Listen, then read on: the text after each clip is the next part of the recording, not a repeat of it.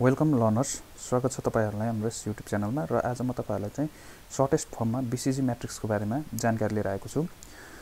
BCG matrix is a two into two matrix cells established in nineteen sixty eight by Bruce Henderson of Boston Kalsan consulting groups यो BCG matrix के हो त भन्दाखेरि दुई into दुई matrix sales हो जुन चाहिँ के त भन्दाखेरि उन्नाइस सय अडसट्ठीमा ब्रुस हेन्डरसनले चाहिँ बुस्टन कन्सल्टिङ ग्रुपमा यसको चाहिँ प्रतिपादन गर्नुभएको थियो।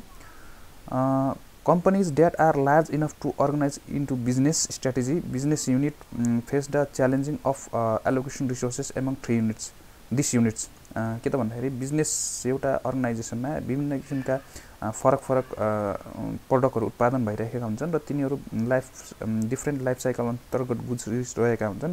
त्यस्तो अवस्थामा कुन प्रोडक्टलाई कुन मार्केटिङ स्ट्राटेजी प्रयोग गरियो भने हामी चाहिँ बिजनेसको ग्रोथ र प्रोफिटेबिलिटीमा नेगेटिभ इम्प्याक्ट पर्दैन भनेर चाहिँ आइडेन्टिफाई गर्न र कम्पनीलाई प्रोफिटेबल लग्नको लागि चाहिँ यो बिसिजी म्याट्रिक्सको डेभलप भएको थियो। र बिसिजी म्याट्रिक्सलाई तपाईँहरूले चाहिँ एउटा चाहिँ यसरी चाहिँ टु इन्टु टू सेलमा चाहिँ राखेर चाहिँ अध्ययन गर्न सक्नुहुन्छ। यसको तपाईँले हेर्न सक्नुहुन्छ एक्स एक्सिसमा हाम्रो चाहिँ मार्केट सेयर रहेको छ भने वाइ एक्सिसमा हाम्रो चाहिँ मार्केट ग्रोथ रहेको छ र यसमा चाहिँ चारवटा चाहिँ बक्सहरू रहेको छ। एउटामा स्टार छ एउटामा क्वेसन मार्क छ एउटामा क्यास काउ छ भने एउटामा डग रहेको छ।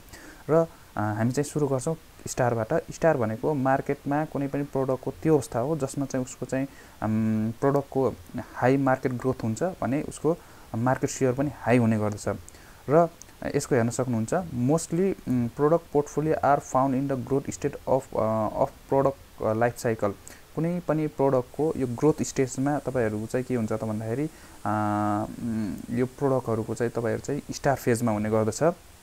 With high competition and good cash flow need huge investment in maintain its position र स्टार पोजिसनमा रहेको प्रोडक्टको के हुन्छ त भन्दाखेरि हाई क्यास फ्लो हुन्छ भने यसमा हाई कम्पिटिसन पनि हुन्छ।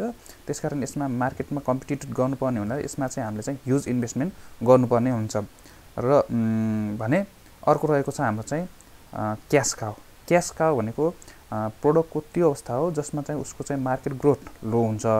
भने उसको चाहिँ के भन्छ त भन्दाखेरि इन्कम भने हाई हुने गर्छ अथवा उसले चाहिँ प्रोभाइड गर्ने प्रफिट हाई हुने गर्छ।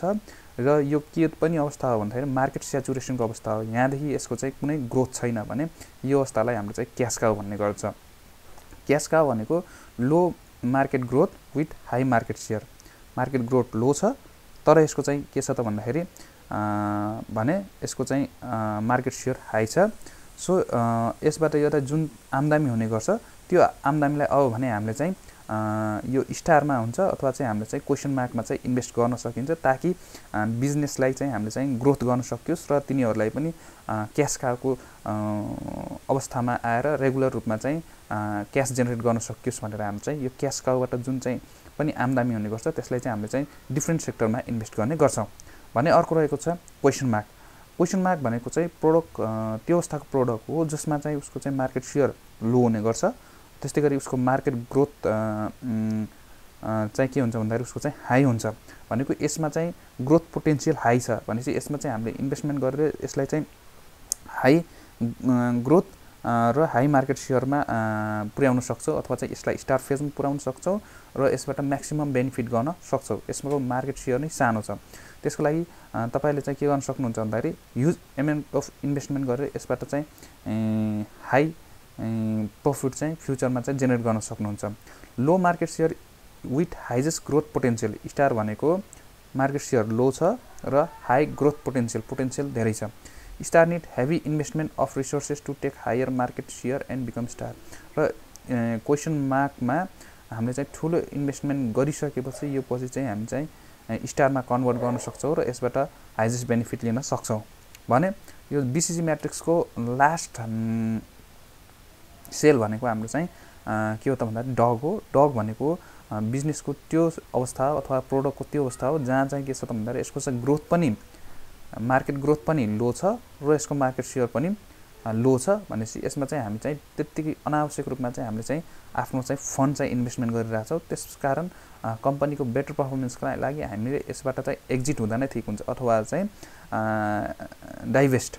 यसको आम्दानी सम्पूर्ण हामीले चाहिँ क्वेसन मार्कमा इन्भेस्टमेन्ट गर्न सक्छौँ अथवा चाहिँ स्टारमा इन्भेस्टमेन्ट गरेर यसलाई चाहिँ हामी चाहिँ बन्द गर्न सक्छौँ।